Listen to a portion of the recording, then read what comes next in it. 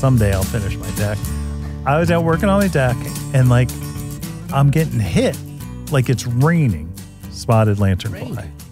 Spotted lanternfly, and they're they're just sneaky. They crawl up, and all of a sudden, you see them. And right now, they call them instar stages. That the spotted lantern goes through a series of instar stages, and the last two are where it um, is a little creepy crawly thing, where it's an orange. It's orangey red, and it's the fourth instar stage and that it's usually July to September, and it's reddish with white spots and black markings. It's about a half an inch, and it has a long snout, and it like crawls really slow. It, and it reminds me a little bit of like a stink bug, like where stink bug So- is pretty yeah. stealthy, and that's what these were. But they jump on you without even thinking twice. I killed one with two by four. So, uh, that big of a- yeah. You I really- hate them.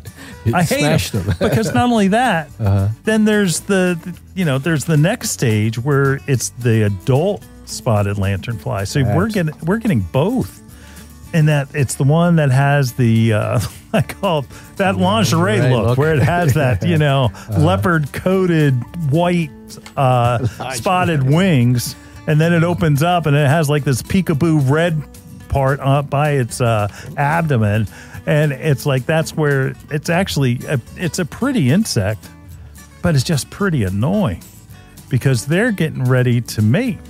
and that's the whole thing. It's like, you know, we're going to subdue the earth. And that feels like they have. They've subdued near my house. I think I told you my mom, my grandmother used to have a uh, an over jacket or overcoat that she used to wear just around outside when she had to go and get the paper, and it looked just like a spotted lantern. it's crazy. Or they sell they sell clothes like that. Like I think it's called a moo or something like that. Something oh, crazy. I don't know, man. that wasn't quite what I was thinking, but yeah. He said the lingerie look. So Well, hey, you know, it's like silk, man. Like it's and again, it's it looks like a, a white leopard skin, le, like because it has it's white. The wings are white, and it's the majority of the body. It's it's and that they get to be, you know, two inches long. But you know, it's amazing that they go from the and again, it's called instar stages, and that it goes from that red color that they are now, and it's reddish orange, and then all of a sudden they're as the big adults get ready. Hmm. Get ready because you need to get rid of them. And one of the ways let, let me back up. You know why i have them? You got a neighbor i got a neighbor.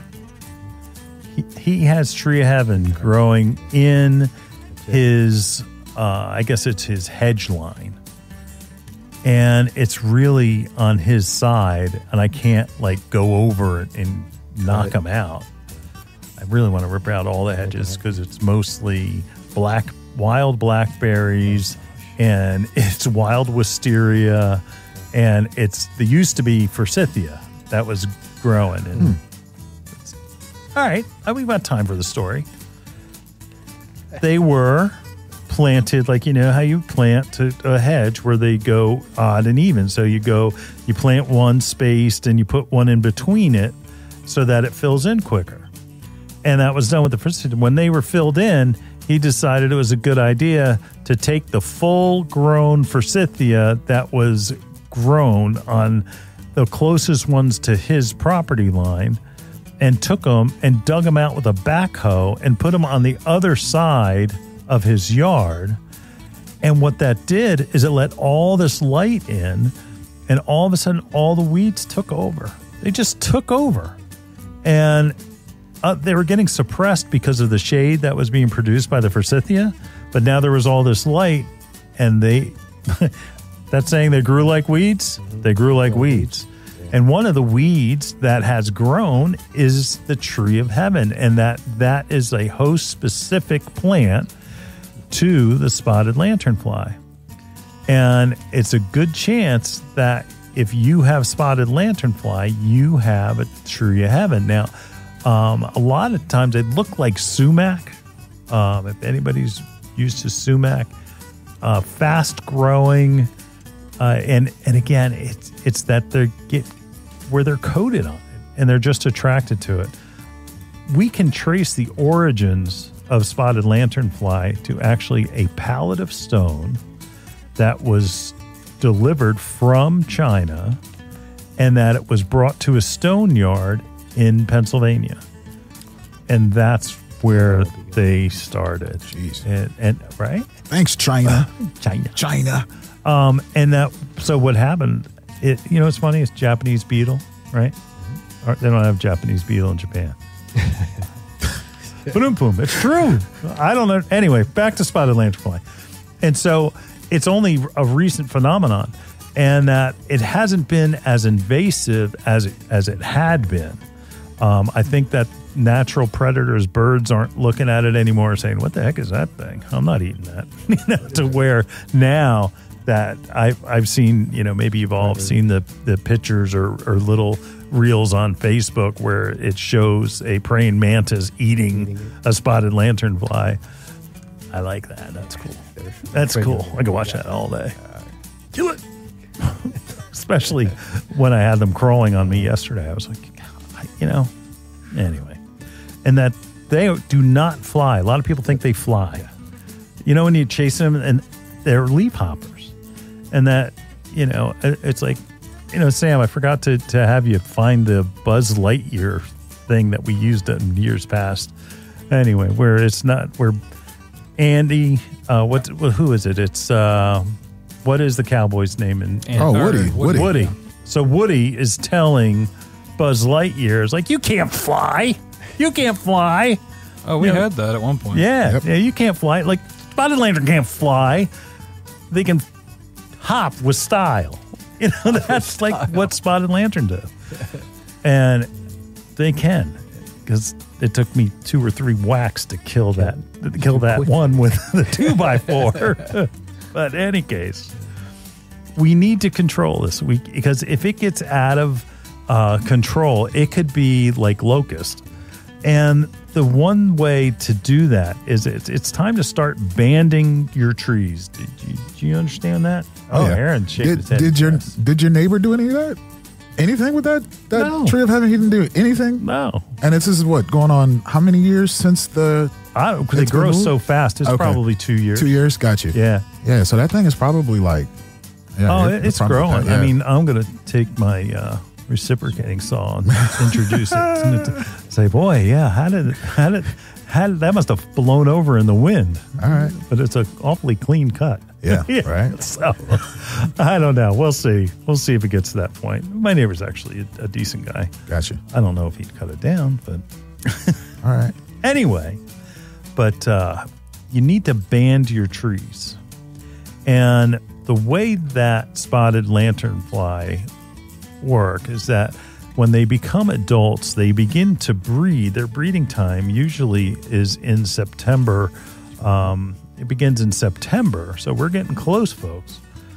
And that they climb up the tree and that they lay their eggs, which look like it looks like mud. It looks like if, if somebody wiped mud on your tree, that's what it would look like on the trunk of your tree. And that they'll do it on anything. We we were in our old studios in the building. They were laying their eggs on the actual side of the building, and this was a marble building, and that so they'll do it on anything, Anything. but primarily their their focus is looking for a tree to be able to lay their egg mass. And if you can put the banding up, eh, they need to climb up the tree that you'll catch the spotted lanternfly. Now, I've heard people have problems with banding where that they've had actual birds get stuck to it. Yeah, that's what. So here's what you do is you, is you put the banding on and you take some uh, some chicken wire and you make it so that the the spotted lanternfly can crawl between the holes of the chicken wire, but you kind of create a I don't know, like a covering that's separated from the tree. So the spotted lanternfly crawls under it gets stuck to it. And where the birds, they can't because they're on the chicken wire. So if you have it separated from that, uh, again, that the um, the sticky turtleneck, if you will, because that's what it becomes, and that you put a like say a gap, um, so that it's a spacer. You know, the birds can't get Can't get to it, but the spotted lanternfly will crawl through it and still get stuck. Um, we need we need to keep this, and, and I think that a lot of of our gardeners and, and listeners out there are being proactive because the amount of spotted lanternfly that we're getting now is less than we were getting say in 2020 or 2020 you know 2020 2022 like that. It, it's but it's still there. They're still there. I feel like you know populations are all over my house. I've gotten one. I saw one, and it actually. I, the only reason why we saw it was because it got stuck in a spider web on the side of my porch. And when I, did you I watch a walked up- spider eat it Well, I That'd mean, I didn't cool. see the spider. It was just there. Yeah. we, it's still hanging there. I just saw it the other day. It's still hanging there, but stopped moving it's dead. It's, It's dead. dead, Yeah, dead, dead. It hasn't moved. And I mean, I, I try, you know, when the wind blows, usually, you know, they'll try to, you know, scurry around in it just to try right to see. it, it kind of jumps It- around yeah, and it gets it gets stuck. more Yep. It, it, it's gone. No? It's meeting its maker. yeah. Maybe That's back in China cruel, somewhere. Aaron. I don't know. It is cruel. I mean, I mean, that's I, all right it's a spotted lanternfly kill it stomp, I could have stopped it, but it Yeah. looked like it was it was already gone. Well, if you've got one, there's probably a few hundred more because one spotted lanternfly, I think they lay 200 eggs. and I was looking around my property. I don't see any black mud like. Yeah, no, that, they're gone. They hatch in spring. Okay. Yeah, so you, you you won't see that for another in two months. I know a lot of uh, farmers are, are they don't like the cold season unless they have cold crops, right? But when the first frost comes, that's usually the first indicator spotted lantern flies are gone for the season. Yeah, So- that they can get Yeah. killed by the cold, but once they lay their eggs, guess a what? It's a wrap. They're there. They're they're not eggs. They're they're spotted lantern seeds. so basically, is. Um, so you can also spray, and again, banding will protect your trees, but when they're in this phase, and you can spray them, and what we recommend spraying them with are the thrins. Julio, am, am I am I going to stump you if I ask you what a thrin is? Thrin is an insecticide which is which has a, uh property that uh, it's uh, it, it lasts longer than than uh, the usual. It's a natural pyrethrin. No, that's it's based off of a natural Right, right. pyrethrin. And the whole thing about pyrethrins, even though they're organic and they do have a great list of, of insects they control, it has no residual. So it breaks down in sunlight and it's made from actually uh, chrysanthemum Chrysanthemum, flowers. yeah. And that it sprays it, you, you can kill it, but it's gone because if sunlight is getting to it. So it it's not the best. So so what we did, and it's the science, folks. Here we go. Based on the chemistry of the pyrethrin, pyrethroids were copying copying the pyrethrin, but made it so that it had a long residual. Uh, Penn State has been on the forefront of all of the spotted lanternfly information, and their recommendation is bifenthrin. Get it? Thrin? Bifenthrin, which is Hi-Yield bug blaster 2 bifenthrin 2.4%.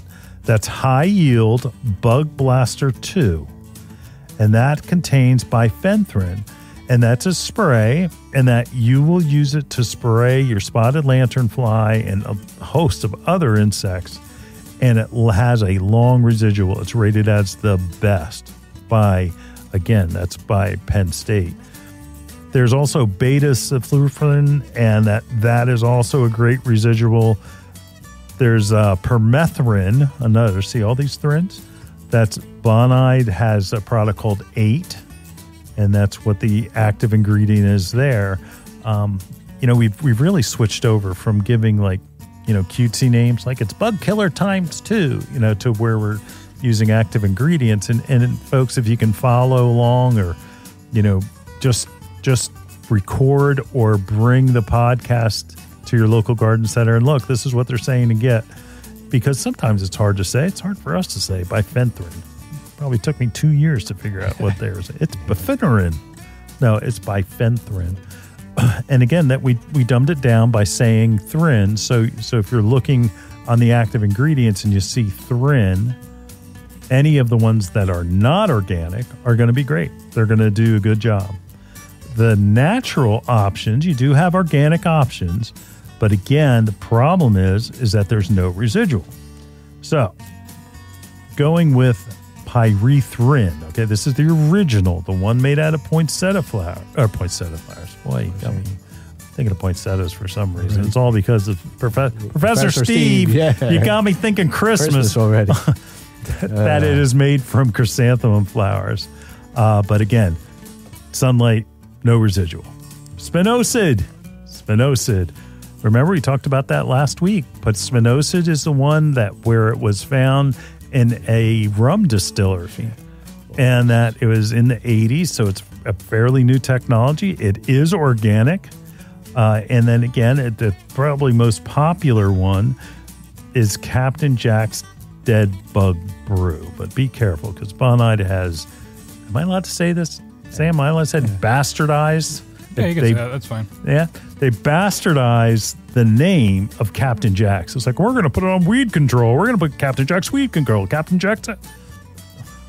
Everywhere. I hate, I hate, you know, Yeah. triple action hool, Triple action. another organic. Oh, great stuff. It has neem and pyrethrin. Both. So again, neem is gonna gonna coat the the insect, and the pyrethrin's gonna work.